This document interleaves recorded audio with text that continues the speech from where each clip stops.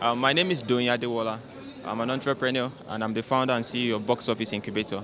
And so basically we provide affordable offices for small business.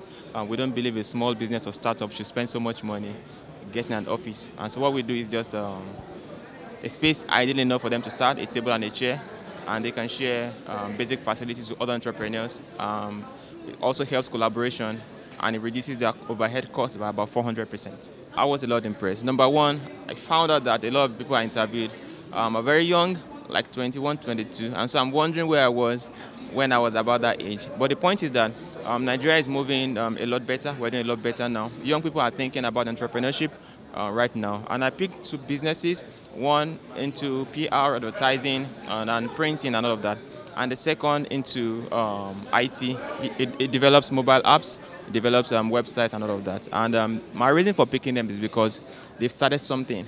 So one of them even gave me a magazine he had printed. Um, he printed 500, 500 copies and he had sold 150 in just two months.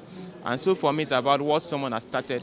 Um, I wrote my business plan and after three months of that, I started my business. So um, I don't believe anyone should spend time or waste time planning, you understand? And so for me, the fact that they had started something, they had something tangible to show me. They could tell me they had done projects for organizations that I know, and they mentioned people I knew in those organizations, and so that was beautiful for me. I, I didn't have to um, spend so much time in picking them.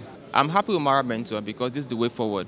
Um, I remember when I was starting Box Office Incubator, I went out on my own to look for people to mentor me because it, make, it makes a lot of sense that you get people who've done it before so that you don't spend so much time um, on what someone has done before. And so the Mentor is coming to Nigeria to do this. It's a great initiative.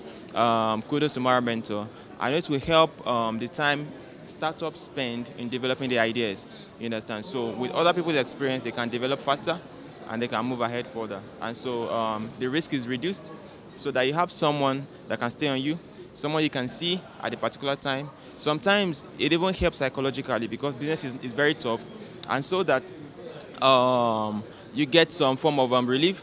It's hot, business in Nigeria is tough. So you have someone you can bounce your ideas off. So it doesn't mean the person is giving you money, but they can pat you on the back and tell you you're going the right direction.